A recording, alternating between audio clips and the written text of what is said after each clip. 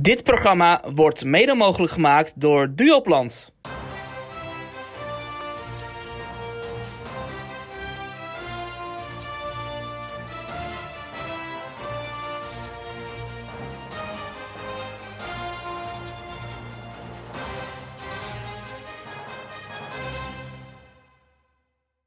Welkom bij deze eindejaarsuitzending van 1 Amstelveen. Nog een paar dagen en dan zit 2020 erop. In deze uitzending blik ik met diverse gasten terug op het afgelopen jaar en kijken we met een schuin oog een beetje vooruit. Dat doe ik onder andere met deze drie mensen die hier aan tafel zitten. Maurice de Hond, opiniepeiler en ondernemer. Ed Gersen, coördinerend verpleegkundige namens Brentano. En Jacomine Jong, directrice huisartscoöperatie Amstland. Straks ook nog uh, Ron Berteling, Mieke Regeling, Daan Kronen over sport, de horeca. Eigenlijk alles wat er maar een beetje dit jaar gebeurde in Amstelveen. Maurice, om bij jou te beginnen. Uh, wat voor jou was het, als je dat kort moet omschrijven? Nou ja, natuurlijk stond voor het overgrote deel in het licht van het feit dat mijn zoon is overleden, Mark, op 3 juni.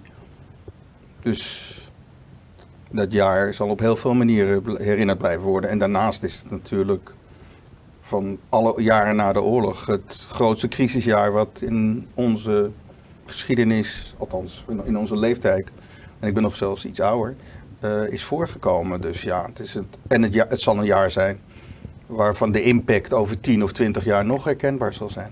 Ja, dit wordt een heel groot hoofdstuk in de geschiedenisboeken straks. Ja, ik denk het zeker. Ja. En voor jou, Ed? Ja, een crisisjaar, vooral in de, in de ouderenzorg. Dat is uh, echt een drama geweest. Het woord crisis is, uh, is al gelijk heel zwaar. Het klinkt ook al gelijk heel zwaar. Ja, ja, ja, maar het, is ook zo, het was ook zwaar. Het is nu bij ons gelukkig uh, weer rustig. Maar in de eerste golf was het echt uh, erg druk. Was het echt crisis. Veel mensen die positief getest waren. Daar komen we straks natuurlijk uitgebreid op terug. Uh, Jacomien, voor jou? Uh, een jaar van heel hard werken. Een jaar van uh, opnieuw ontdekken. Hoe ga je het dan doen? een jaar van creativiteit. Um, maar ook wel elkaar vinden. Dus ook in de samenwerking. Um, ja, hard werken om toch de mensen de juiste zorg te kunnen geven wat nodig is. Is er een één specifiek moment wat je van nou, dat was dan het moment als ik terugdenk aan 2020, dan zie ik dit voor me? Oh, dat zijn er wel heel veel geweest. Um, als ik echt kijk naar mijn werk en hoe de huisartsen uh, die verbinding aan zijn gegaan met elkaar om dit op te pakken. Um, dan was het wel het moment, ook de uitspraak van joh, gaan we solidair met elkaar dit oppakken en regionaal neerzetten. Dus ook de zorg bij het ziekenhuis neerzetten. Um, gaan we er voor elkaar staan. Dat daar zo'n enthousiaste ja op kwam. Dat dan denk je, ja, oké, dit is, is mooie gedragenheid om uh, op door te gaan. Toch heeft dit alles bij elkaar ook best wel veel verbroedering gebracht.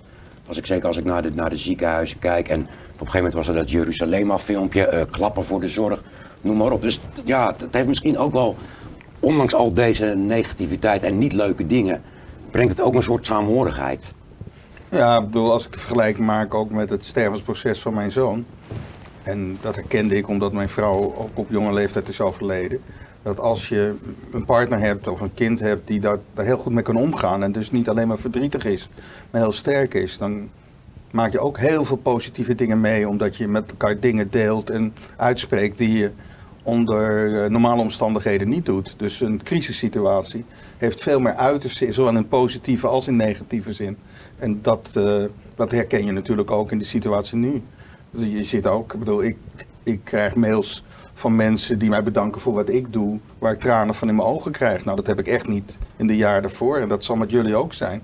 Ik bedoel, het werk wat je deed was natuurlijk altijd heel bijzonder en bevredigend, maar het is nu extremer in het verdriet wat ja. je ook hebt. Ja, en de positieve impact die je ook krijgt. Dus dat ik denk waar, ja. dat dat voor heel veel mensen geldt. Behalve een bepaalde categorie. En dat is triest, omdat dat mensen zijn die eigenlijk vanaf half maart alleen maar in angst leven. En die daar niet uitkomen. En dat is meteen het punt waar, waar ik ook eigenlijk vind waar de verantwoordelijkheid ook deels bij de overheid, bij de RVM zou liggen om ook daarmee rekening te houden. Omdat er nog, en dat krijg ik ook veel mails over, mensen die eigenlijk volkomen in angst leven en daar eigenlijk ook niet uitkomen. En dat is wel. En dan ontstaat er een soort van eenzaamheid. Want ja. jij, um, jij werkt vooral met dementerende ja. ouderen, hè? Ja, groepsverzorging. Ja. Valt daar nog iets uit te leggen in, in, waar wij, in wat voor wereld we nu leven eigenlijk? Nee, dat, dat was echt wel een trieste situatie. Eh, ze mochten geen bezoek meer ontvangen, moesten op hun appartement blijven. Uh, dus opsluiting, dat voelt op een gegeven moment, komt er veel angst bij. Uh, mensen krijgen te weinig prikkels, dus je ziet ze achteruit gaan. in de spraak, in het denken, in de eigen zelfregie. Ja, dat is gewoon triest. Dat is... Jouw beeld misschien al van 2020, een soort van, dat je in een soort van mensonterende situaties komt? Uh, dat je die ja, beelden ik, ziet? Als ik nou uh, ik, nooit meer een verpleeghuis helemaal op slot. Want dat, dat, dat, dat kan gewoon niet. Daar worden de mensen echt slechter van. Is dat de verkeerde beslissing geweest, Maries? Ja, net zo, kijk, dat, kijk, in paniek worden veel verkeerde beslissingen genomen. En eigenlijk zou de overheid niet in paniek de verkeerde beslissing moeten nemen. Bijvoorbeeld het sluiten van de basisscholen drie dagen voor de kerstvakantie. Ja, dat is onverantwoord ten opzichte van, want dat zijn de drie leukste, ik heb een dochter in die leeftijd, de drie leukste dagen op school. Kinderen bereiden dat voor. Uh, ja, Alsof dat over het totale plaatje ontzettend veel uitmaakt. En dan gebeurt dat. En dat is ook bij die situatie met de ouderen gebeurd. En in de eerste periode kon ik dat nog bedenken, dat ze het maar na twee, drie weken, dus hadden ze door moeten hebben, dit was niet een goede besluit. En dat is een soort het gevoel van een soort starheid in besluitvorming, waarbij je het gevoel hebt dat het veld geen toegang meer heeft tot mensen die besluiten nemen. En die mensen die besluiten nemen geen verbinding meer hebben met de plek waar het echt gebeurt. Dus maar met, ja, het is natuurlijk ook met de kennis van nu, hè, dat is inmiddels een beetje legendarisch in geworden. Met de kennis van nu ook het anders gedaan. Geldt, geldt dat, geldt dat, voor, jullie ook? Of? Dat geldt bij ons ook wel inderdaad. Het, het, is zo onbekend, dus je neemt op, op de kennis wat je dan hebt uh, een beslissing om dingen te nemen. Ja, je kan dan achteraf wel zeggen, ja, was het te veel, was het te weinig, was niet goed genoeg? Het is in ieder geval niet moedwillig gedaan als er verkeerde dingen zijn gedaan. Of... Nee, dat, iedereen is de goede trouw. Maar op een gegeven moment wat je merkt, en dan merk je bij het RVM, bij het OMT en uiteindelijk ook bij de regering, dat er is ontzettend veel nieuwe kennis bijgekomen sinds maart. En als ik nu zou vragen aan de mensen bij het OMT en RVM, wat hebben jullie in de tussentijd geleerd? Dan krijg ik eigenlijk bijna niks terug. Terwijl we zoveel meer geleerd hebben. En we hebben in de zomer is er een project geweest bij VWS. Maar moeten wij dat als burger, moeten wij dat allemaal weten? Nee, is, is het ook niet heel veel abacadabra voor ons als leek? In ieder geval voor mij. Ja, en dat is het ook. Maar dat betekent dat de verantwoordelijkheid bij de overheid is om juist op een goede manier beslissingen te nemen en daar ook weer goed te communiceren. En ook te communiceren als je nieuwe kennis hebt. Bijvoorbeeld, hele belangrijke, het besmetten via voorwerpen waarvan in het begin gedacht werd, alles wat je aanraakt, word je meteen besmet van. Inmiddels, was al in april, mei bekend, dat besmetten via voorwerpen de kans daarop uitermate klein is. Toch blijft Rutte alleen maar zeggen, handen stuk wassen, handen stuk wassen. En niet bijvoorbeeld ventilatie, ventilatie. Terwijl dat een kennis is die wereldwijd sinds de zomer al bekend is. En, en wij hoeven het inderdaad, de gemiddelde burger hoeft het niet te weten, maar een overheid wel. En wat je merkt is dat daar bijna geen nieuwe kennis is doorgedrongen. En ze in een communicatie indirect eigenlijk alleen jou proberen angstig te maken en te houden. Omdat ze daarmee denken dat jij daardoor je gedrag aanpast. Terwijl ze ook op een verantwoorde manier jou kunnen uitleggen wat ze wel weten, wat ze niet weten en wat de verstandige keuze is. Dus we leven wel in 2020. Kan jij je daarin vinden, wat Marie zegt, Jacomien? Ja, nou zeker van het leren, dat, dat proberen wij zelf ook te doen. Wat hebben we nou die eerste golf gedaan? Hoe willen we dat nu anders? Wat zie je dan in je praktijk hoe je het anders wil doen? Uh, en ik vind dat wel, de professionals daar wel, uh, die zie ik dat wel doen. Uh, wat kan beter? Um, ik vind wel, je moet inderdaad goed kijken hoe, bied je de informatie dan aan um, en, en wat voor strategie kies je daarbij. Ik verwacht wel inderdaad dan van de overheid dat ze daarbij een langetermijnvisie hebben. Dat ze daarbij ook kijken hoe kunnen we dat overbrengen. Hoe kan je iemand uh, zijn eigen verantwoordelijkheid ook daarin geven. Um, maar ik kan, ik kan niet genoeg inschatten in, in hoeverre ze wel of niet die lessen hebben getrokken. En of ze, uh, wat ze daar precies van geleerd hebben. Dat kan ik hier wel in de regio, als ik zie hoe wij ook in, in de zorg onderling hierover hebben, um, kijken wij wel terug. Ja. Om over terug te krijgen uh, in maart, 16 maart was het volgens mij, dat het land voor het eerst op slot ging. Um, toen kwam er, toen vond ik een prachtig programma. Ja, het is triest dat het bezet was, frontberichten. Ja, fantastisch. Um, er was hier ook in uh, ziekenhuis Amstland iemand die ook af en toe vlogde. Uh, Mark van der Brink. Even een klein fragmentje. Deze intensive care uh, is dit moment een cohort IC. Dat houdt in dat wij uh, hier alleen patiënten verplegen die het coronavirus hebben. We zijn volledig geïsoleerd. Er is een sluis aangelegd. Onze IC is helemaal afgesloten van het ziekenhuis. En wij zijn hier ook eigenlijk altijd in isolatiekleding aanwezig. Uh, dat heeft een grote impact gehad op onze afdeling. Wij, zijn... wij hebben het heel erg druk gehad. Uh, wij hebben heel veel ondersteuning gehad van andere verpleegkundigen uit het ziekenhuis, van de acute opnameafdeling, maar ook veel ondersteuning vanuit de anesthesie. die hebben ons geholpen bij opvang van de eerste coronapatiënten in ons ziekenhuis, hier op de intensive care. Deze beelden zagen we toen dagelijks. Het valt me op, terwijl er nu veel meer besmettingen zijn, dat we dit soort beelden eigenlijk helemaal niet meer zien. Worden we nog wel genoeg echt geconfronteerd met de gevolgen? Ja, ik vind dat... Hij is of, of zie jij ze wel, Ed, sorry. Zie jij ze nog wel op je werk, dat mensen zo bijlopen en... Uh... Nou, wij hebben nu op het moment in het huis geen besmettingen meer. Maar bijvoorbeeld als wij nieuwe mensen opnemen, gaan ze in quarantaine. En dan gaan wij, betreden wij zo de kamer. Ja.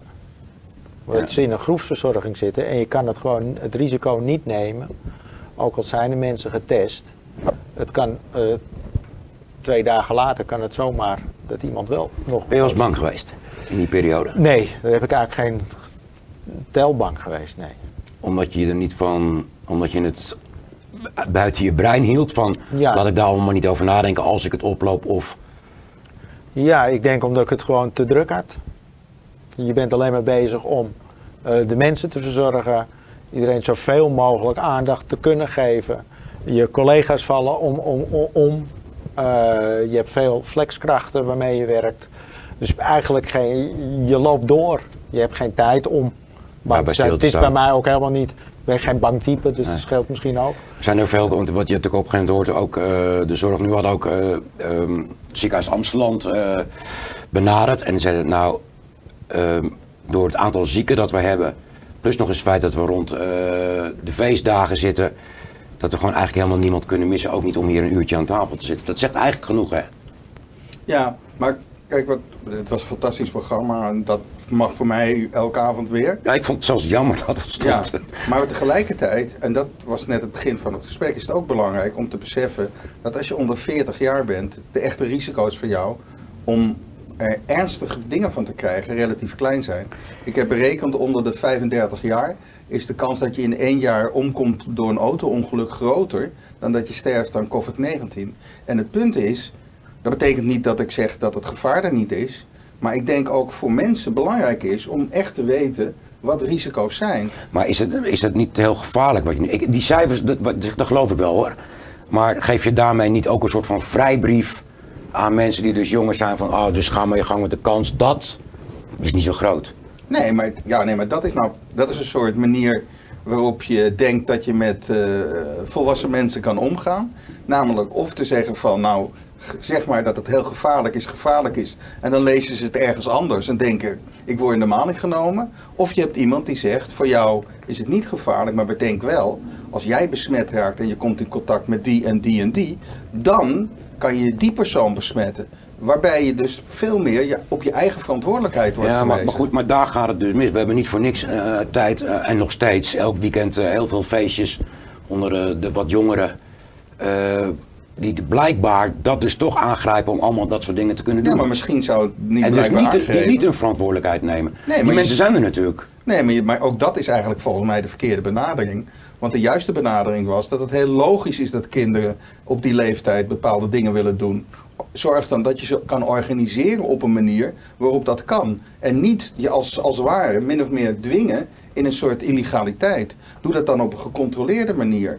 We hadden heel lang de tijd al, we hadden in de zomer al met die jongeren veel meer kunnen laten doen. Het was buiten, de, de virus was er amper. En we, toen waren we nog steeds anderhalve meter, anderhalve meter aan het roepen. Want jij, dus, jij zegt die anderhalve meter is helemaal niet zo belangrijk. Het gaat om de ventilatie. Dat, nee, dat, dat is niet wat ik zei. Wat ik zei is minder belangrijk nee, dan. buiten is die anderhalve meter veel minder belangrijk. Binnen als er relatief veel mensen besmet zijn, en dat is op dit moment uh, wat meer het geval. En in zo'n ruimte heb je geen goede doorluchting. dan adem je de lucht van anderen in. En dat kan ook op 4 meter. Dus hoe verder je van elkaar zit, hoe beter het daar is. Maar wat ik belangrijk vind, om dan ook te zeggen, eh, ventilatie is belangrijk. In de winter is dat moeilijk. Luchtvochtigheid is heel belangrijk, naar 45% ehm, niveau. En dan, ja, nogmaals, elke afstand die je kan en wil houden, prima. Maar er wordt een soort bijna hysterisch gedaan rondom die anderhalve meter. En Als je denk- dichtbij iemand komt, dat ja, je maar dan... die jongeren, die jongeren, dat is ook. Je bent zelf ook jong geweest. Dus daar, bedoel, bedenk even hoe lang het al duurt. Daar moet je wat meer ruimte voor geven. In plaats van op deze manier en het, het reageren. Waarbij je. Ja, je, je kan beter op een verantwoorde manier met mensen omgaan en ze serieus nemen. En ze laten zien, nou, dit, deze Ja, hoe het nu op de IC is, ja, eh wederom, wederom druk. Ehm, het lijkt erg op de eerste golf. En eh, nou, dat merk je gewoon aan het aantal patiënten wat gewoon weer toeneemt. Eh, ja, en het, is, het, zijn gewoon het zijn veel patiënten en eh, verpleeg, ja, eigenlijk verpleegtechnisch de, de, zorg die ze moeten ondergaan, is het gewoon is het zwaar. Het is veel. Nou, eerder werd er gesproken van een, van een sprint dat er één, misschien één golf zou, maar het begint nou een marathon te worden. Ik denk dat dat een goede vergelijking is. Blijft gewoon constant de druk van die patiënten naast de reguliere zorg. eh, wat gewoon voor veel zorgzwaarte zorgt. En dat vraagt veel eh, van het team. We zien wel dat, dat steeds meer mensen eh, ja, last hebben van nou ja, burn-out-achtige klachten en nou ja, oververmoeidheid en dat soort dingen. Dat is wel, dat neemt wel echt toe. En dat is ook inderdaad eigenlijk wel anders dan in die eerste golf. Eh, en dat, dat komt gewoon door de zwaarte van het werk. Maar goed, het team dat er staat, eh, dat, dat, dat, ja, dat doet natuurlijk gewoon zijn best. En dat, dat werkt wel. eh, het werkt wel. Ja. Ik, ik heb gelukkig een, eh, een hele lieve vriendin die eh, mij, eh, mij echt wel steunt hoor. En eh, nou, dat geldt denk ik voor heel veel partners van eh IC-verpleegkundigen. Ehm, dat, eh, dat, dat, dat, dat helpt. Ja. Gewoon praten erover. Ja. Ik hoor het woord burn-out vallen. Ehm, dat is natuurlijk wel het verschil met eh, de eerste golf, dat mensen het gewoon op een gegeven moment mentaal niet meer aan kunnen. Heb jij dat binnen de, de huisartsen in, de, in deze regio gemerkt? Is er veel uitval? Ja. ja, dat maakt het soms ook wel spannend. Zeker met het oplopen van het aantal besmettingen. Ehm, je wilde gewoon zorg laten draaien, maar je hebt ook je assistenten die misschien uitvallen omdat ze op een test zitten te wachten of dat een familielid besmet is. Eh, dat vraagt weer extra eh, druk van je andere teamleden en die raken oververmoeid. Dus het zit hem inderdaad bij ons veel meer de spanning in het personeel dan de aantallen. Eh, inmiddels raak je wel gewend aan een soort van ja, risico, eh, en, andere logistieke processen. Maar dit is echt wel een zorg. Ja, want nu is er ook dus een afspraak gemaakt om onderzoek te gaan doen in, in, in deze regio. De gemeente, de huisartsenzorg en ook de coöperatie waar jij bij directrice van bent. Dat er, dat er gekeken moet worden, want het neigt erna dat we te weinig huisartsen gaan krijgen hier. Ja, ja daar ziet het echt naar uit. We, eh, de, groei, van een gemeente, dat vraagt om meer eh, huisartsen. Eh, wij zitten nog in een gebied waar je in elk geval nog genoeg huisartsen zou hebben. Alleen het praktijkhouderschap is zwaar. Vraagt veel verantwoordelijkheid en ehm, nou, is niet aantrekkelijk om dat te doen. Dus wij, en dat is een hele Zeker mooie... nu niet misschien. En zeker nu, nou, maar dit, ja, sommigen worden er warmer van, die vinden het Ja, helemaal ook, mooi. ja, maar ja. Het, is, het, het is een serieuze en, en het eh, vak en het, is, eh, het draagt veel risico's met zich mee, met personeel. En het wordt alleen maar groter, ook de praktijken. En wat is het doel nu van dat onderzoek? Om te Nou, kijken dus- hoeveel je tekort komt. Nou, dat Volgens niet mij kun je alleen. beter aanpakken, mensen zoeken. Nou, dat niet alleen, maar ook even creatief te kijken. Weet je wel, vanuit een huisarts kan je natuurlijk een, hebben wij een blik van hoe, hoe wij denken dat het moet. Maar we zien het wel echt als een driehoek. Want ook de zorgverzekeraar heeft hier een rol in. Wat kan je stimuleren of ondersteunen om het, eh, het vak houdbaar te maken? Eh, wat kan je als gemeente doen in plekken of eh, in samenwerking met WMO om het eh, goed draaiend te houden? Dus we zien echt die driehoek als nodig om hier een oplossing voor te vinden. En dan niet een oplossing van we doen er nog twintig bij en dan is het geregeld. Want die hebben we misschien niet. Wat kan ICT doen? Wat kan andere werkwijzes doen? Wat moet misschien een hele andere type zorg gaan worden? Dus we proberen echt out of the box te denken vanuit die drie petten. Ja. En dat is wel een. eh, Dat is jouw een- doel voor 2021 om dat goed gestroomlijnd te krijgen. Zeker. Want de huisartsenzorg moet echt, het moet voor iedereen eh, moet het goede kwalitatieve zorg zijn. Maar ook voor de zorgpersoneel moet het een gezonde werkomgeving zijn. Is jouw doel eh, bereikt, Maurice? Jouw doel om het verhaal rondom de aerosolen en de ventilatie Want ik, ik, ik las het interview met je in Trouw. ik las het interview met je in het Parool. En Dat was ook- heel populair einde jaren. Ja, precies. Terwijl je, maar terwijl je zelf daar een, eh, een opmerking bij plaatst van ja, ze zijn eigenlijk, nu, nu komen ze ineens. Terwijl ze eigenlijk al in, in, in april riep ik al de eerste dingen of in maart. Ik was in april op tv bij Op 1 en riep ik ook dat eh, onder andere dat eh, ventilatie een heel belangrijk punt was. En dat ik ontzettend zorgen maakte over zorginstellingen, omdat daar de problematiek groot was. Eh, en dat ook mede doordat maar het RVM niet onderkende dat het virus ook door de lucht zou gaan. En wat je merkte was, juist omdat in Nederland die wetenschappers eh, dat eigenlijk afwezen dat het door de lucht ging, zijn er eigenlijk niet de gepaste maatregelen genomen. Ik heb in de zomer gezegd, laten we een deltaplan ventilatie doen. Ook op scholen, vooral VO-scholen, is het risico ook groot. Dus ja, het, het, het, het, werd eigenlijk heel weinig opgepakt. Maar ook media pakte het weinig op. Dat viel me erg op. Die waren heel erg conformistisch ten opzichte van eh, de, de autoriteiten. En ik had gedacht dat daar veel meer ruimte voor was. Ja, je noemde zelfs het, voorbeeld van, eh, ik weet niet, je noemde een, een, een, een lukraak, een onderwerp dat dat nog meer uitgezocht zou worden door, door journalisten dan, dan de berichtgeving van het RIVM bijvoorbeeld. Maar mogen wij niet ook gewoon aannemen als Nee, dat soort instanties... Ik zei het ander- iets anders. Ik zei, als ik eh Marion Koopmans hoor geïnterviewd worden of eh, Van Dissel, dan zijn ze minder kritisch dan als Erika Terpstra de Dalai Lama ja, dat, is je voorbeeld, ja. Er wordt geen kritische vraag gesteld. En de kritische vraag gewoon, eh, u zei de vorige keer dit, maar dit, en hoe is dat nu gekomen? Eh, neem mondkapjes en Van Dissel, nou dat is een heel avontuur. En ja, en ik zeg helemaal niet dat je daarmee de autoriteit van die man onder tafel moet houden, maar je merkt, er, zijn, er is ook een brief geweest van 40 wetenschappers, van onder andere professor Robert Dijkgraaf, die zei in Nederland loopt men achter bij het integreren van nieuwe wetenschap. En dat komt mede omdat de media nogal heel erg gezaggetrouw zijn geweest, wat ze bij geen enkel ander onderwerp doen dan nu. ja. Misschien gaan we er gewoon ook vanuit dat dat soort instanties, als die iets naar buiten brengen, dat dat ook gewoon klopt. Ja, maar dat is vandaag de dag ook niet standaard de, de, de, de, de juiste benadering. Als je gewoon ook veel bronnen van informatie hebt waaruit blijkt dat er nog wel wat andere opvattingen kunnen zijn dan op dat moment gelden. Nou, dat blijkt natuurlijk ook achteraf wel. Hè. We, we, we nemen nu 2020 een beetje door in, in vogelvlucht. En volgens mij was in maart of begin april was, zou het woord van het jaar geweest zijn groepsimmuniteit. En later bleek daar helemaal onhaalbaar iets te zijn. Ja, nee, maar goed, kijk, ja. nee, half, half eh, maart was het logisch, iedereen raakte in paniek. En we wisten terecht, niks. we wisten niks. Nee. Maar daarna zijn er nog.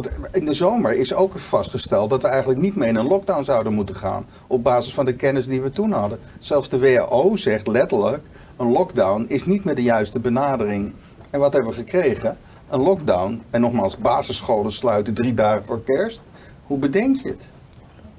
We kunnen over dit onderwerp natuurlijk heel lang eh, doorpraten. Er valt natuurlijk heel veel over te zeggen. Ik bedoel, dit sluit alweer aan over toen we open waren in de zomer. 1 juni ging de horeca open. Nou, daar gaan we straks met, met Daan Kronen nog wel over hebben. Hoe, eh, hoe die paar weken heel mooi waren. Maar eh, ja, ik denk dat we nog wel een tijdje hiermee opgescheept zitten. Hè? Ja, we hopen weer op het voorjaar dat het weer gaat dalen. En we hopen dat de, de kerst niet te veel besmettingen oplevert. Maar Je zegt het heel, heel voorzichtig. Ben je Ja. Voor een, ja, mag ik het al derde golf gaan noemen dan? Of eh, Nee, we zitten nog in de tweede golf. Ja. kan Ja. in de derde golf. hele lange Nee. tweede golf? dus inderdaad nog de tweede golf. En we Ja, die hopen in dat maart, we, april gaat die pas echt temperen als het gewoon beter weer wordt. ja. Ja. En we hopen dan weer even lucht te hebben om weer even te kunnen reflecteren. Weer anders misschien op te kunnen En dan pakken. kan vaccinatie wel gezorgd hebben dat het daarna niet meer opkomt in de mate waar het nu is opgekomen. Ja, dat, dat, dat nog heel even over die vaccinatie. Eh, hebben jullie enig idee hoe dat, eh, gaat het via de huisartsen straks ook gebeuren? Of is het al iets overduidelijk? Nou, er is nog veel onduidelijk.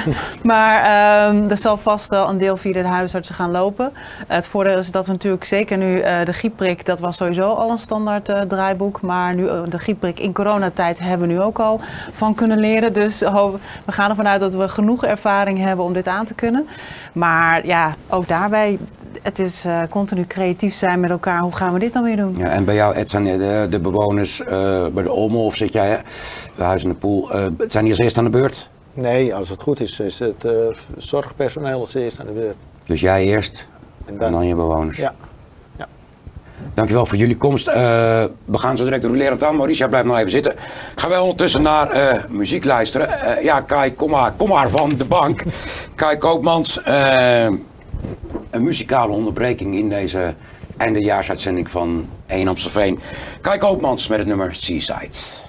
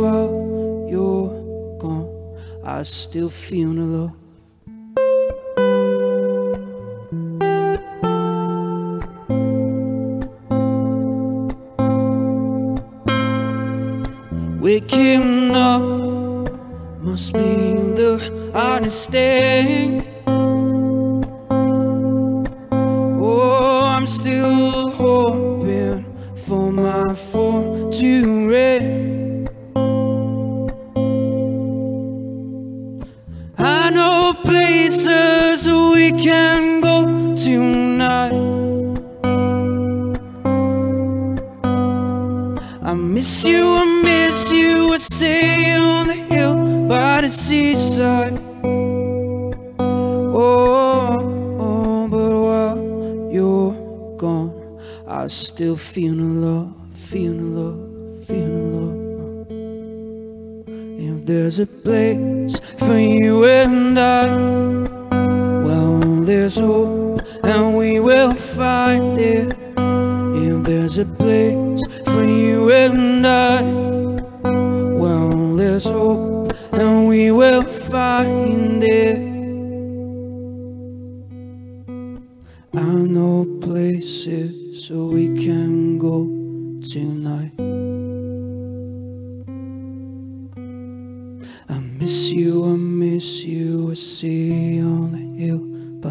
seaside.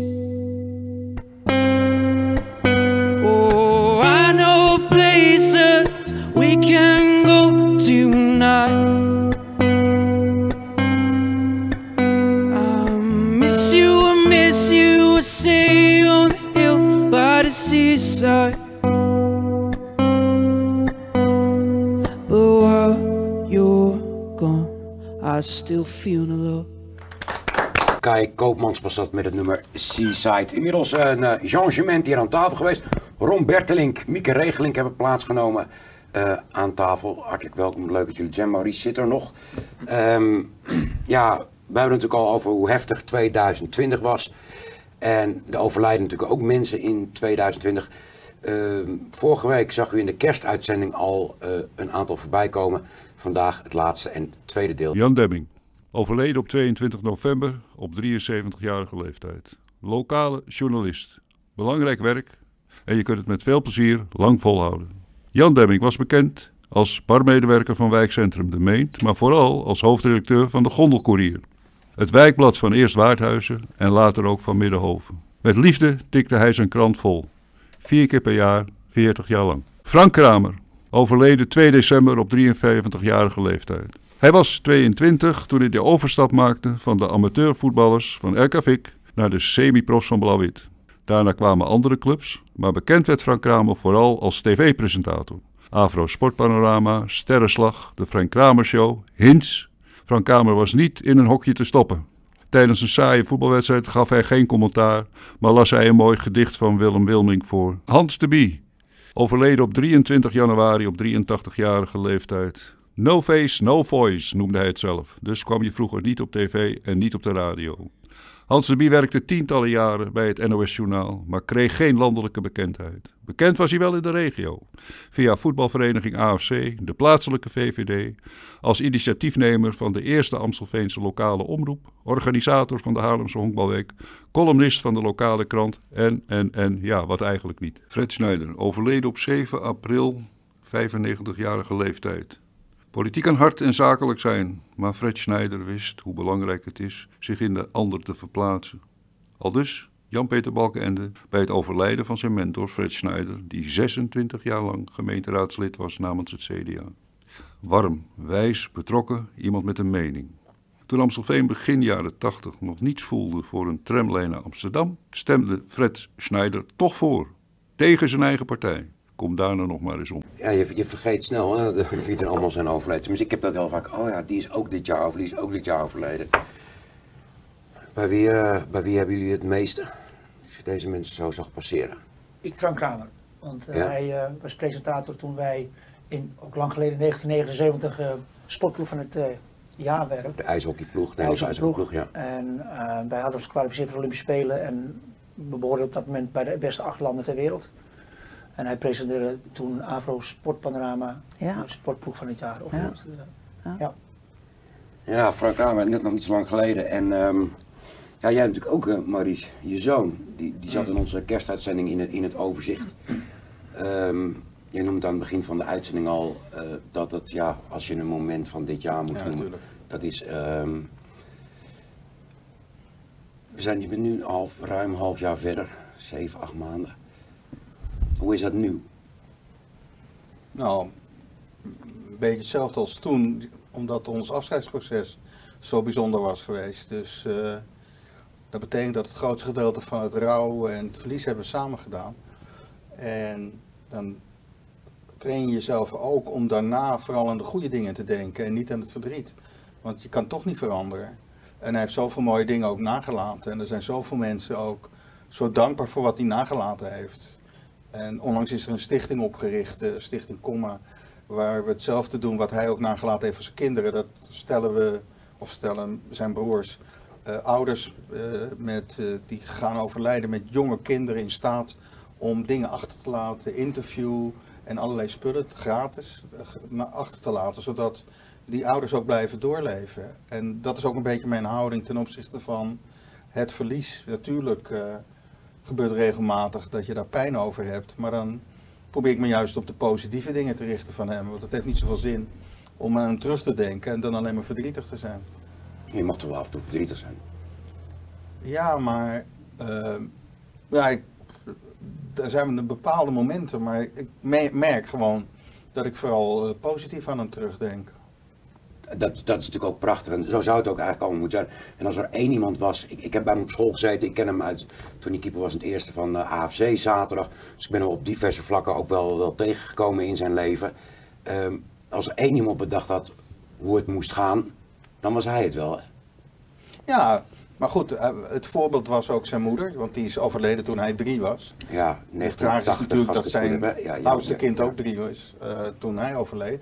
Maar ook daar heb- is, is wel dingen nagelaten en dat wilde hij ook voor zijn kinderen doen. Dus die laatste twee, drie maanden, die waren eigenlijk eh, heel bijzonder. Doordat je met elkaar eigenlijk eh, tot elkaar komt op een manier die je onder normale omstandigheden, daar heb je geen tijd voor. Je praat dingen ook niet uit of open zoals je het kan zeggen, als je weet dat het toch het eind is. En eigenlijk is dat zonde dat je dat soort gesprekken eigenlijk alleen maar hebt vlak voor het Ja. eind. Ja. Ja. Waarom eigenlijk? Hè? Ja. Waarom al pas zo laat? Nou. Omdat je het dan pas beseft? Of... Ja, en omdat je bepaald je niet het achterste van je tong wil laten zien op een of andere manier. Omdat dat ook weer later, ja, eh, alleen op dat moment als je weet dat het afgelopen is, dan zit er geen enkele terughoudendheid meer. Jullie hadden elkaar een brief geschreven, hè? Ja, en dat voorgelezen. was eh, wat we gedaan hadden. Hij heeft mij een brief geschreven wat ik voor hem betekend heb. En ik hem, ongeveer 15 pagina's. En die zijn we ook gaan voorlezen aan elkaar. Eh, en ook dat is natuurlijk iets wat je normaal ook niet doet. Eh, mijn vrouw is het vergelijkbare overkomen. En op 30-jarige leeftijd overleden. Maar kort voor haar dood zei ze... ik ben op deze manier waarop je afscheid neemt wel blijer dan als ik over tien jaar met een hartaanval was overleden. Mhm. Ja. En, dat, en dat merk ik ook. terug. Kijk, als hij was overleden door een auto-ongeluk, dan had ik hier echt had ik hier misschien niet eens gezeten. Had ik er anders in geweest. Dit zie je bij Mark ook. Je wist dat het ging gebeuren, de vraag was alleen wanneer. Jawel, maar hij, hij gaf je juist de kracht Ja. om er daarna mee door te gaan. Dus ehm één fragment wat ik heel typerend voor hem vond. Dat was in het pro- programma eh, Littekens van Wilfred Gené. Ehm, in april uitgezonden, maar in februari al opgenomen. Dus een maand of vier voordat Mark eh, daadwerkelijk overleed. Laten we daar even naar kijken. Nou, omdat ik heel goed ben om omgaan met tegenslag. En eh, eh, ja, ik, ik zou dan denken van, van, van ja, dan, dan is mijn vrouw een paar jaar verdrietig. Maar daarna komt ze wel weer een leuke gast tegen die... eh, Die er net zo goed uitziet, denk je, of niet? nou ja, en waar je, waar je niet al dat fysieke gedoe mee heeft. Ik denk niet dat ze er nog eentje in een rolstoel uitzoekt. Nee. En kijk, toen mijn moeder dood, doodging, kreeg ik daarna eh, kreeg mijn vader een nieuwe relatie. Dat is mijn nieuwe moeder geworden. En we zijn nog een heel gelukkig gezin geweest daarna. En ik, ik heb niet heel veel verdriet gehad als kind van het feit dat mijn moeder was overleden. Kijk, als je maar gewoon onvoorwaardelijke liefde krijgt, hoeft dat niet per se van je biologische ouders te zijn. Dat kan ook van iemand anders zijn. Eh, dus eh, eh, ik hou me er ook maar aan vast dat als het met mij onverhoopt mis zou gaan, dat het met mijn gezin uiteindelijk ook wel weer goed komt. Ik, ik neem aan dat mijn kinderen ook wel iets van mijn genen hebben. Ja, met positieve. dus, dus misschien zijn ze er een week verdrietig over en daarna weer gaan we het aan. Nou. Dat, dat zou ik ze wel gunnen. Ja? Ja, van mij hoeven ze niet eh, twintig jaar eh, elke dag verdrietig om mij te zijn. Ik wil dat ze gelukkig worden. En ehm, nogmaals, ik ben er heel graag voor ze. Maar als dat niet zo is, dan... eh, Maar dat zou je ze ook bijna willen zeggen als je het niet meer zou zijn. Leef door. ja, het, je kan, ze hebben geweld, geweldige grootouders. En het feit dat zowel mijn ouders gescheiden zijn en opnieuw getrouwd zijn, als dat Ramona's ouders eh, gescheiden zijn en opnieuw getrouwd zijn, betekent dat ze zelfs acht opa's en oma's hebben. Dus Mhm. echt een hele collectie. Hebben ze een geweldige moeder en eh, eh, misschien op een gegeven moment een hele fijne stiefvader. Ehm, eh, ja, de- de- er is geen enkele reden om er niet een geweldig leven van te maken. Ik zag je een paar keer lachen. Ja, maar dat is ook zo. Ja. Ja, maar op- deze manier ging je ermee om. En tot op het eind. De laatste avond dat we met elkaar waren, twee avonden, drie avonden daarvoor, was, ja, was gewoon grappig, gezellig. Zelfspot ook, hè? Hm? Zelfspot ook. En, Ja, maar eh, daar, daarmee kan je de situatie veel beter handelen dan dat hij alleen maar zegt wat overkomt mij, wat verdrietig. Want dan trek je ook nog je hele omgeving mee. Maar hij heeft zich heel dienstbaar opgesteld ten opzichte van iedereen, ook ten aanzien van de toekomst van zijn kinderen. Hij heeft eh, voor zijn kinderen eh, verjaardagskaartjes achtergelaten. Ik weet niet precies alle details, maar ik denk dat als ze gaan trouwen, dat er nog een boodschap van hem erbij zit. Dat denk ik ook wel, ja. Ja, en ik weet dat, maar ik verraad het misschien maar, maar dat zijn zoon moet een, als zijn zoon acht wordt, krijgt hij eh, twee eh, kaarten, seizoenskaarten Ajax. Eentje voor hemzelf en ander voor iemand die dan met hem meegaat. Weet je, op die manier. eh, Opa, opa mag dat dan. Ja, maar nou, het kan, misschien zijn andere mensen. Nou, ze hebben er acht, dus... maar, dat gaat, maar het gaat er vooral om dat je daardoor het leven iedereen sterker maakt in plaats van zwakker. En, en dat, ja, dat, dat heb ik ook in mijn genen en hij ook.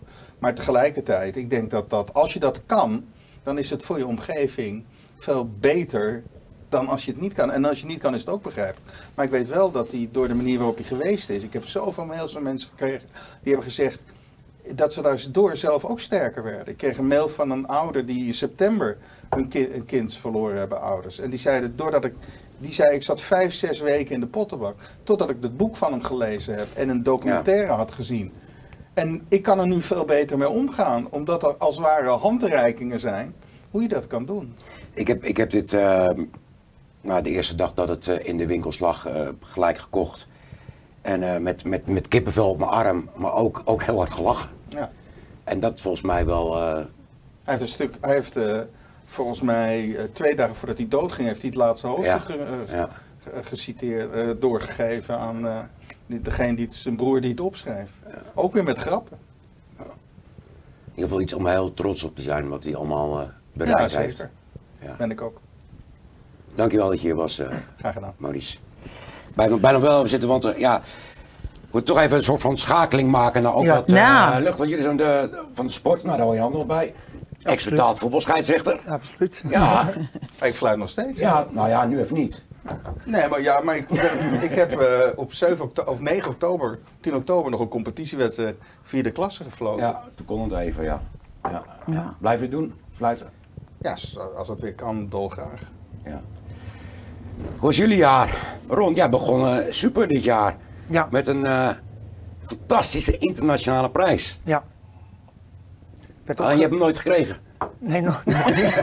hij, hij- staat ge- eh, gepland voor eh, juni 2021. Juni, de Toriani Award hebben we. Toriani Award. even vertellen wat, wat die trofee Ja, dat is een, inhoudt? het, is een, het is een prijs, een oeuvreprijs, laat ik het zo maar zeggen. ehm, voor mensen die veel betekend hebben voor het ijshockey in een klein ijshockeyland. Eh, elk land in de wereld mag ehm, een, iemand voor, eh, naar voren schuiven of eh, eh, nomineren. Dus de hele wereld kan dat doen. Er zijn er tot nu toe vijf mensen zijn, hebben die prijs ontvangen. En ze kregen eigenlijk heel snel terug dat ik het vanuit de Internationale IJshockey Federatie heel snel terug dat ik het werd gewo- ben geworden. Eigenlijk het hoogste wat je kan bereiken. Als en je ik als, als, mee- als Nederland abso- nee, absoluut. Ja. Zeer vereerd. En nou ja, dan word je op de, op de hoogte gehouden door de Internationale IJshockey Federatie. En dan, dan breekt er iets los in de wereld. En eh, nou, het gaat niet door. Alles wordt gecanceld. Ja, want je zou het eigenlijk in eind mei tijdens het WK zouden ze... Ja. Want je moest een toespraak zelfs gaan houden. Ja, eh, toespraak houden. Eh, ik mocht iemand meenemen. Nou, die ken je ook, Jos Bles. Wie is dat? Jos Bles is ook een oud ijshockeyer. Een van mijn, ja, is mijn beste vriend. Ken ik al eh, 56 jaar. Eh, die zie ik nu nog twee, drie keer in de week. Eh, wij trainen samen. Eh, is ook een beetje mijn mentor. Eh, was mijn idool. En die zou ik meenemen, maar het ging helaas niet door. Nou ja, 2021 is het plan. Eh, Maar je gaat hem maar krijgen. ik, nou, ik ga hem krijgen. En, en, en het, het- wat, wat het is, eh, de- WK wordt in 2021 in eh, zijn eh, Letland en Wit-Rusland gehouden. Alleen. Letland wil nu niet met Wit-Rusland weer samenwerken. Omdat daar problemen zijn. Dus ik, eh, misschien dat ik achter mijn rollator weet je, ook, Maar ophalen. de, de WK gaat door. Ja, die gaat een keer door. Alleen maar de die gaat- is nog waar absoluut. Ja. Maar goed, Ja. eh, ik ga hem dan eh, krijgen. Ja. Want dat was, dat was jouw moment, denk ik, van 2020. Eh, ja, abso- abso- ja, positief moment is absoluut. Ja, want je werd, je werd gewoon gebeld door de voorzitter van de bond. Ja, ik was op mijn werk en eh, bond, ja. krijg je een eh, internationaal telefoontje. En dan is de voorzitter van de Internationale eh, die, die vertelt het je. En dan, ja, dan, nou, het is niet schrikken, maar eh, je hart gaat... Had je iets aanvoelen komen? Nee, hele- helemaal, Nee. absoluut niet. Helemaal niet. En wist, wist dit, dit vindt waar je net over had, wist hij het? Nee. Ik weet niet zeker volgens mij. Nee, nee, nee, nee, dat wist ik niet. Maar ik, Nee. ik, ik krijg een telefoontje en dan voel je je zeer vereerd. Ja. Eh, je kent de persoon, de, de, voorzitter van de internationale ijshockey. Je, je weet wie, wie het is. Meneer, Ja. meneer Vassel. Eh, Va- Vassel. Faisal. Ja, Vassel, ja. Ja, en, eh, dus ja, we gaan het zien. En ik mag, eh, mag hem ophalen. Iets om naar uit te kijken. Oh, oh, oh, absoluut. Ja. absoluut. Je toespraak al klaar? Nou, die had ik wel klaar, maar dan ga je... Ja, je moet hem maar toch eh, aanpassen. eh, Dan moet je weer aanpassen en wat dan ook. Maar ik ga hem krijgen en, en nogmaals, ik voel me zeer vereerd. Ja, leuk. Ja. Maar tegen die tijd willen we de beelden wel zien. Ja. Nodig je weer uit. Dat is goed. Mieke, jouw moment. Ja, dat, dat is het balkon bewegen, hè? Eerst even kijken. Eerst even kijken. Balkon bewegen. Eh, eind maart, we waren net, nou, een dag of tien dat we echt zeker wisten dat corona ook in Nederland was. En we moesten allemaal bewegen, vond Mieke. en zoen in het klompenhok. En we zingen allemaal mee. Geetje, wat ben je toch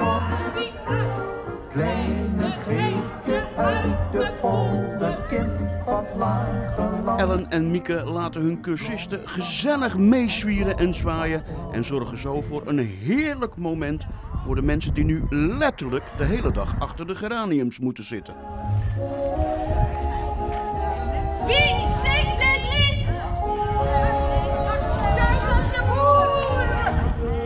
Wat een enthousiasme sta je daar. Hoe, hoe ben je op dit idee? Was het je eigen idee eigenlijk? Ja, dat is mijn idee. En het leuke is dat ik eh, in dat seniorencomplex geef ik gymnastieklessen. Al heel wat jaartjes. En ehm, drie groepen, twee damesgroepen en een mannengroep. En die wonen daar allemaal in dat complex of in de buurt. En ehm, Dit is zaterdag... West, Westwijk of niet? Ja, is Westwijk, Ja, de ja. Dichtnauwhof. Ehm, de 16 maart gingen we in lockdown, dat was een zaterdag. voor zondag. En maandags is mijn gymles. En ik ben er maandag gaan staan, zes weken lang, elke dag.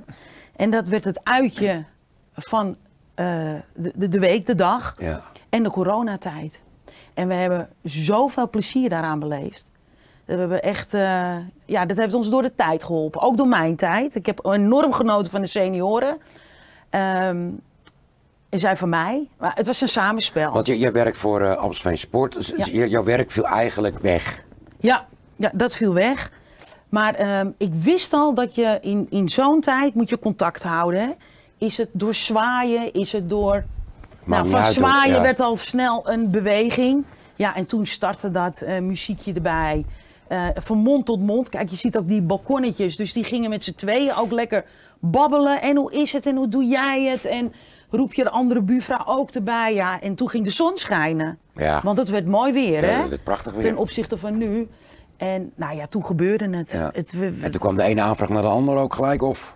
en, eh, nou, aanvraag, ik moest nu ook naar de achterkant van het complex komen, want daar hadden de mensen niks. Dus ik Ja. ging van de voorkant naar de achterkant. En weet je wat ook heel leuk was? Er kwamen een heleboel mensen kijken. Ik, en ik veroor- meedoen naast je, Ja, of en niet? ik veroorzaakte natuurlijk Files. eh, files. die, die stonden daar allemaal mee te doen. Nou, en toen uiteindelijk, ja, het mooiste kwam. We hebben een nationale balkondag gecreëerd in Amstelveen. Nou, hoe gaaf is dat? Het wordt een jaarlijks terugkerend evenement. Ja, dat willen Welke ze. datum? Ehm, volgend jaar in een mooie, Ah, een mooie tijd. Dus de datum mooi kunnen we nog een beetje mee spelen. Kunnen we nog een beetje mee spelen. Maar het was een daverend succes. Ja, Ontzettend genoten. Ze hebben het er En nog zeer over. dankbaar om te doen. Ja, dankbaar. Ze, Niet? Nou, je, maar het goede je woord? wordt blij. Ja, jij zou je wel. wordt blij. Is het te bescheiden? Ja. Nu? Ja. Ja, ja, Jawel. Tuurlijk, ik Goed, we zeggen- zitten, we zitten op dezelfde, we werken op dezelfde bedrijf, ja. Dezelfde afdeling. En toen dit begon, of toen zij ermee begon, dacht ik van, daar zelf uit van, daar moet iets meer mee gedaan worden. Dan moet je dat, dat moet je continueren, daar moet, daar moet je mee doorgaan. Want je ziet dat oudere mensen bewegen.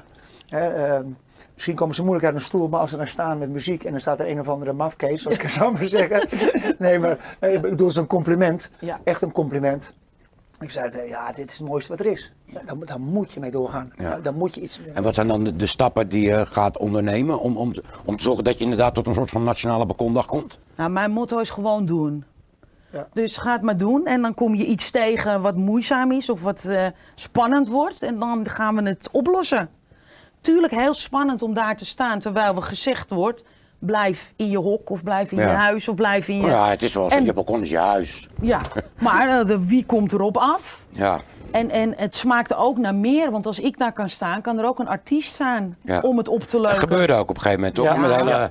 hoogwerkers. eh, Ja, ja dat gebeurde in het land, hè. ging er ook steeds meer Ja. gebeuren.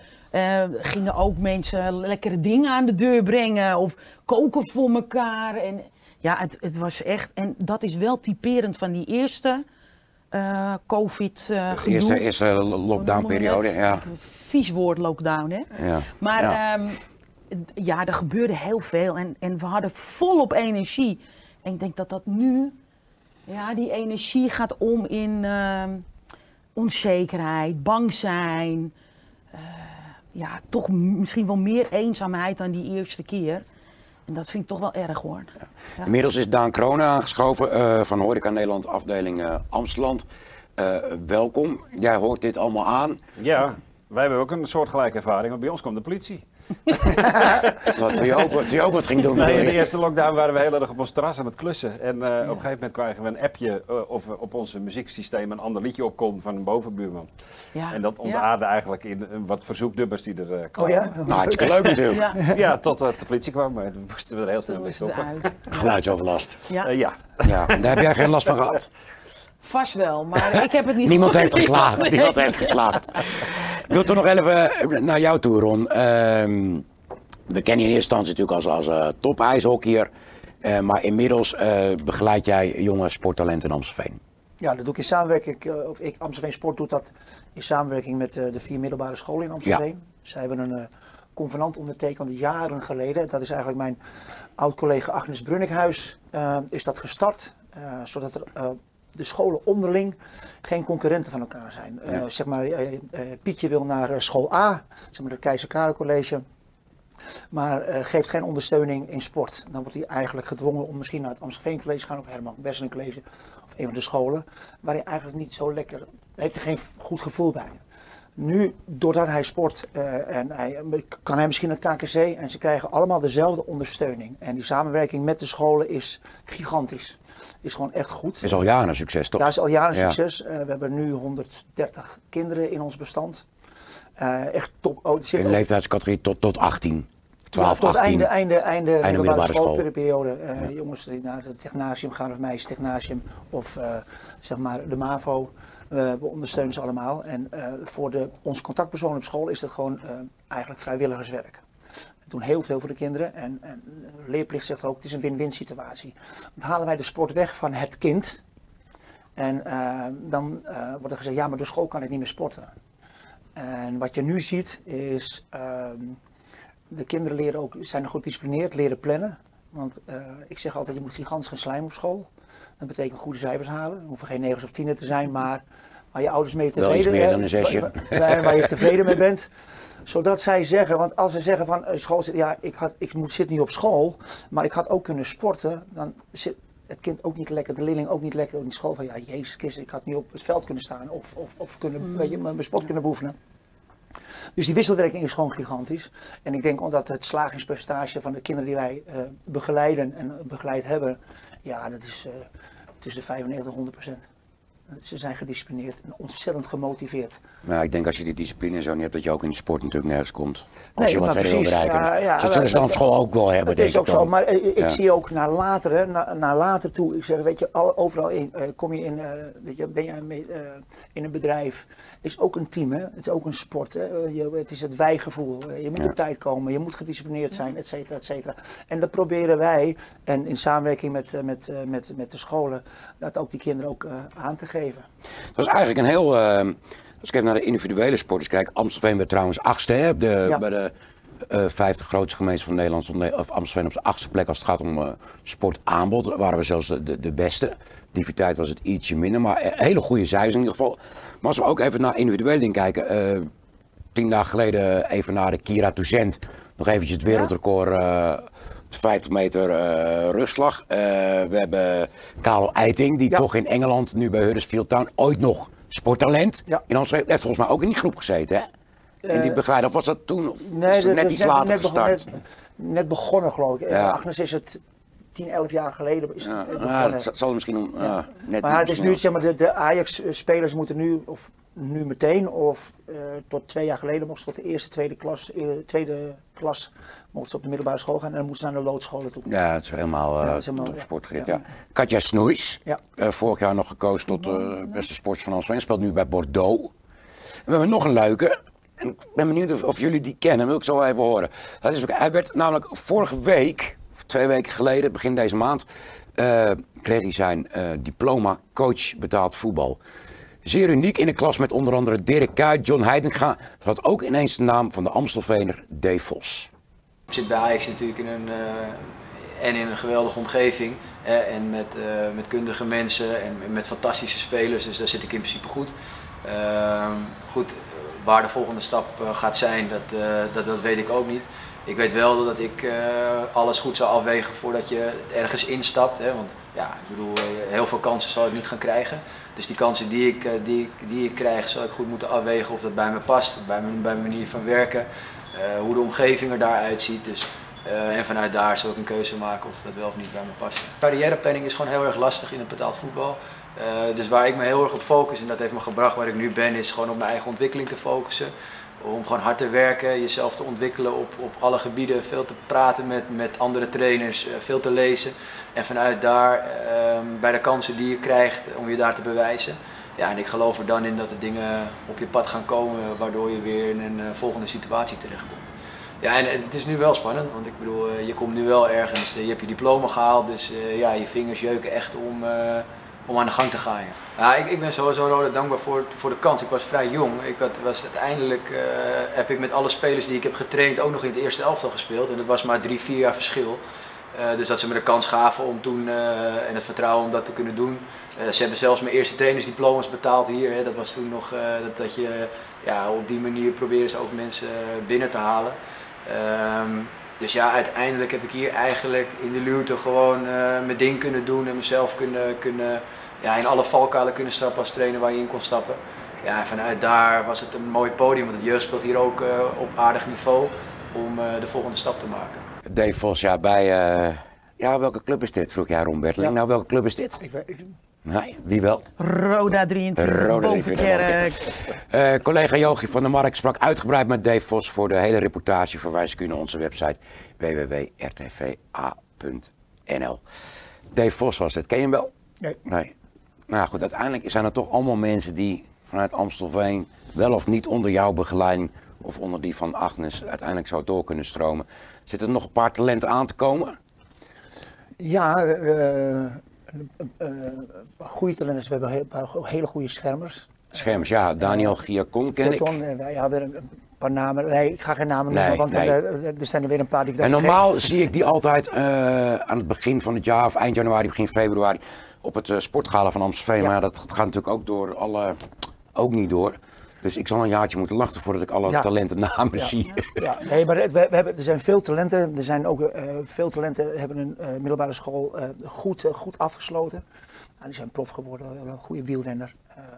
Dat, dat is, wel Blijven die wel ook na hun middelbare school nog wel onder jullie toezicht of Nee, houdt het op dan? helemaal niet. Dan is Ja. het, nou, nou, niet dat we een schop geven, maar ik, ik, ik bewaar wel veel dingen van hun. Zeg maar, eh, hun, hun, hun- Af en toe een belletje zit er nog wel in. ja, maar goed, het is leuk. Wa- Wat ik vind, als ik een intakegesprek met ze heb, eh, want we hebben altijd als een nieuw talent een intakegesprek en ik hou contact met ze. Dan zeg ik, nou, als jullie later, als jullie eh, weet je wel, prof zijn geworden of jullie hebben je droom bereikt. Denk aan mij. Ik zeg, nou, ja, dan zit ik op de tribune of ik zit voor de televisie, die ken ik. Ja. Weet je wel zo. Ja. Nee, en dat is leuk. Dat is gewoon heel leuk. Ja, dat is, Ik ben benieuwd wie er door gaan breken. Hou je lijstje in de gaten. Jij Mieke, ja, nationale balkon, ik hoor wel wanneer het is. Hè? Ja, zeker, zeker. Blijf nog even gezellig zitten, want eh, ja, horeca hebben we allemaal wat mee, toch? Missen jullie Ja, het? ik heb zeker wat Ja, met ja, horeca. Mis je het? Ja, dit mis ik. En eh ja, Café Thijs is ook dicht. Ja, En, alles is eh, dicht. Alles is dicht, ja. Het is Ja. echt eh, hele horeca. Ja, het is wel een ding hoor. hé. Ja. Dan Kronen. Dat kan Eh, dat het een ding is, ja. Ja. Ja, namens Horeca Nederland afdelingen Amsteland. Hoe is het met de horeca nu? Wat is de stemming Ja, de stemming is... in eh, deze feestdagen? Ik heb er zelf maar een nieuwe term voor bedacht. Dat is positief. Positief. Aan de ene kant zijn we erg boos over de maatregelen die ons vooral erg treffen als branche. En aan de andere kant ja, blijven we toch positief en optimistisch dat we in de toekomst weer verder moeten met, en kunnen met ons bedrijven. En dat is eigenlijk een hele vreemde spagaat eigenlijk waar je in zit. En, en, en die gevoelens die wisselen ook op een dag zich continu af. Eh, nieuwe nieuwsberichten, eh, eh, eh, verhalen van collega's die je hoort. Ehm, ehm, maar ja, toch ook weer wetende wat je hebt. En, en dat niet zomaar weg willen gooien. Mensen willen graag perspectief hebben. Ja. En die hebben jullie nou nog steeds niet en ook heel lang niet gehad. Dat, eh, daar zijn we inmiddels ook al aan gewend. eh, want eh perspectief hebben we eigenlijk vanaf 15 maart niet meer. Nou ja, heel even. Op 1 juni mochten jullie weer open. Dat Dat was, een, een- soort van, het was ook exact. een datum waar je naartoe Ja. kon werken. Maar dat was, van, toen 15 prachtig maart tot, van 15 maart tot 1 juni was ook al een hele lange Ja, periode. dus zeker. Ja. Dat, waren 2,5 elf, dat waren 11 weken, Ja. waar we met vier weken begonnen volgens mij. Ja, nogmaals, ook dat wendt een beetje. Het enige wat niet wendt is dat je eh, elke keer facturen betaalt en dat er geen geld meer binnenkomt. En dat, dat, dat gevoel dat je elke keer in de telebankieren duikt en dat dat er steeds nijpender wordt, ja, dat, dat, dat wens ik niemand toe. Eh, dat is een hele lastige. Nou, nou weet ik het niet, maar weet jij misschien wel over hoeveel horecagelegenheden praten we in Amstelveen? Rond 170. eh. Rond de 170. Ja, totaal. Niet alleen de horeca Nederland. Wij spreken inmiddels ook voor alle horeca uiteraard. Ja. Eh, We nemen het niet alleen op voor onze eigen leden, want deze crisis is zo breed dat we eigenlijk op, optreden voor de gehele horeca. Ehm, maar ja, dat, dat zijn aardig wat bedrijven, ja. En Ja. de, de zichtbare bedrijven, zoals je al noemde, eh, ja, dat zal het eerste op je netvlies zijn van, van de, de mensen die je ook kent, die erachter zitten. Mensen waar je graag komt, de mensen die je een leuke avond bezorgen, die je ook groeten als je door het winkelcentrum heen loopt. Weet je. De gastheer, zeg Die mensen mis je. gastvrouw. Ja. Ja. en als je ze nu tegenkomt en je vraagt hoe gaat het, Ja, dan dan weet je eigenlijk het antwoord wel. Je durft het er ja. bijna niet te vragen. En andersom ook niet. Nee. Want ze weten wel dat je... Ja. Ja, want jouw man is eigenaar van Café Thijs. Ja. Even voor de duidelijkheid, dat- dat iedereen ook snapt waarom jij daar een duidelijke, duidelijke visie over hebt. Ehm, toen ik jou van de week belde om te vragen van god, hoe staat het er eigenlijk voor?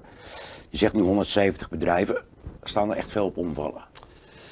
Technisch gezien zijn er heel veel failliet. En misschien eh, een van mijn bedrijven ook wel. Eh, alleen, ik laat mijn bedrijf niet omvallen door deze crisis. Eh, eh, als mijn bedrijf valt, dan is het door mijn eigen toedoen. En niet door het toedoen van iemand anders. Maar is dat op een gegeven moment nog wel tegen te houden? Eh, zolang je bij geld kan komen, Ja, maar zolang je resources blijven bestaan, dan, dan blijf je omhoog, ja.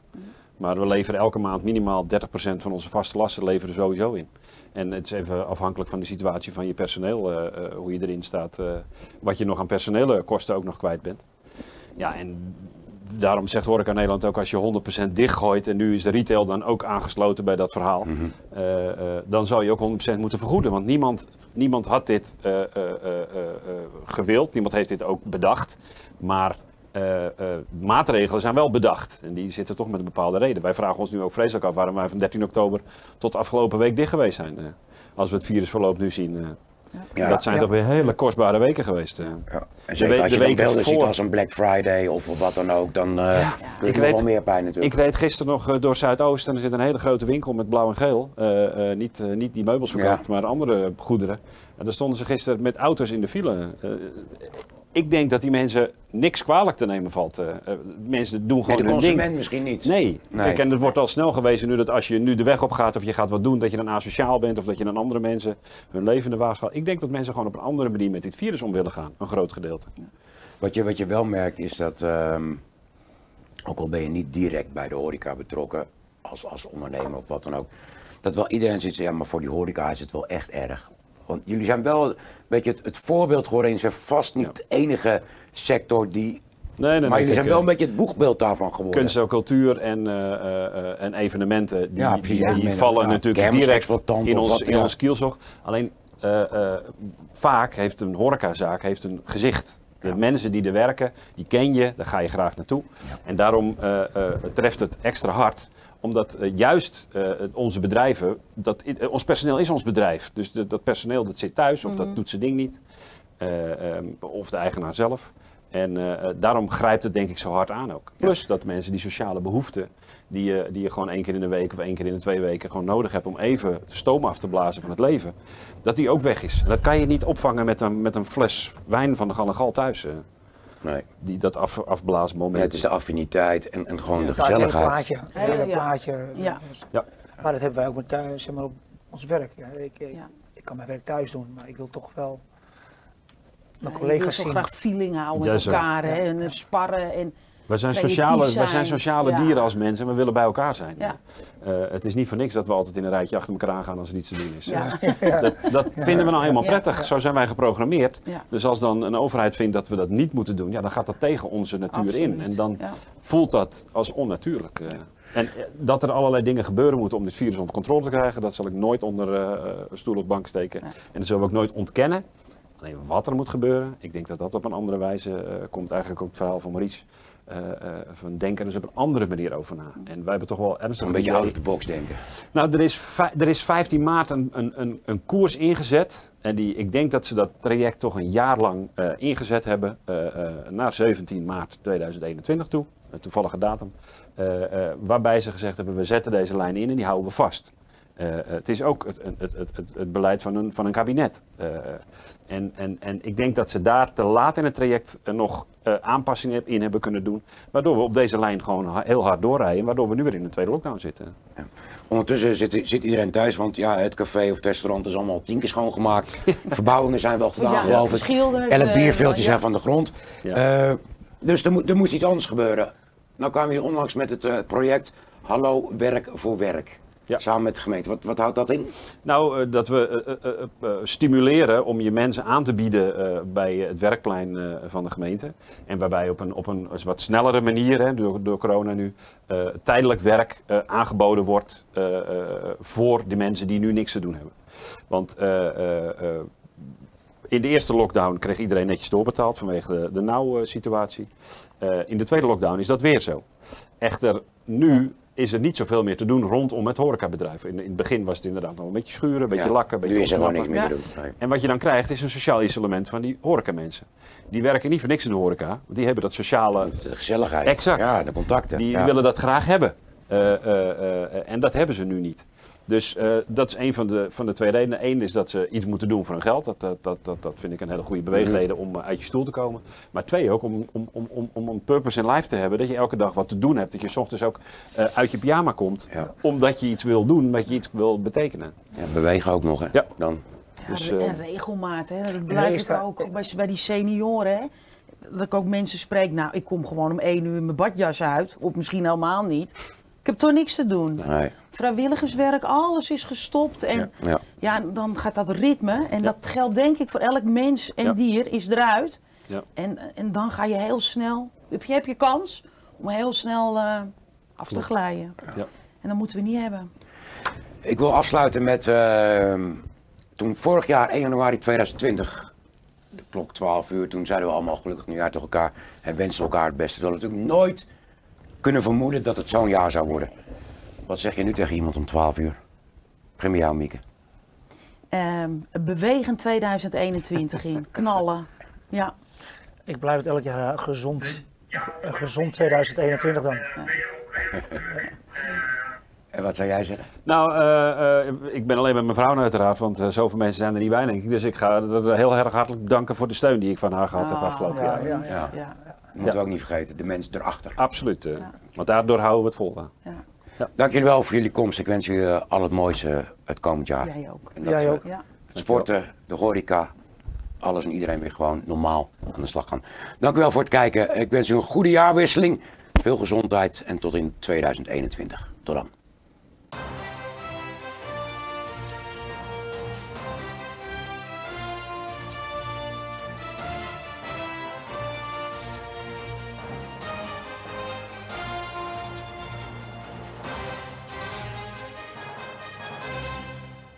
Dit programma werd mede mogelijk gemaakt door Duopland.